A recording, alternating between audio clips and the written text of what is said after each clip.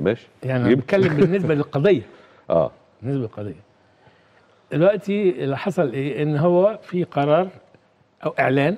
اتخذه الرئيس الأمريكي الحالي هو قرار ظالم وخاطئ إلى آخره. تمام. وخارق للقوانين الدولية. مم. وإن في قرار من مجلس الأمن في 48 2 4 2 4 مين 2 4 زي 2 ما و3 قال- 3 سنة 8 1900 زي ما ال- دكتور أيمن. ده طبعا المفروض إن هو كان فيه اعتبر إن القدس مدينة محتلة. تمام. فدي حاجة. دي منظمة من المنظمات. طبعا الحاجة يعني إحنا ندرك في الاعتبار عدة حاجات اولا الحاجة الأولانية بعيدا عن المجلس اتفضل. وال وال الأمم المتحدة. الدول الأمم المتحدة. إن القرار اللي خده اللي خده خده أعتقد من وجهة نظره زي ما قال الدكتور طارق يعني هو رجل أعمال وفاهم إن في وضع عربي مهترئ. مظبوط. وبالتالي في حاجات بتحصل.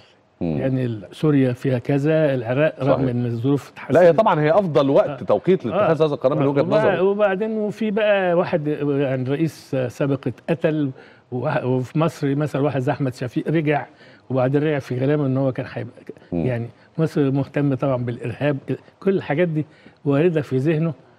فيقول يعني من وجهة نظره حتى اللي حتى اللي لما خد خد القرار مع مستشاريه أو إذا كان في ثينك تانكس أو حاجة زي كده يعني بيدوا له نصيحه فبناء على رؤيه كويس. رؤية من وجهة نظره دي دي الرؤية بتاعته.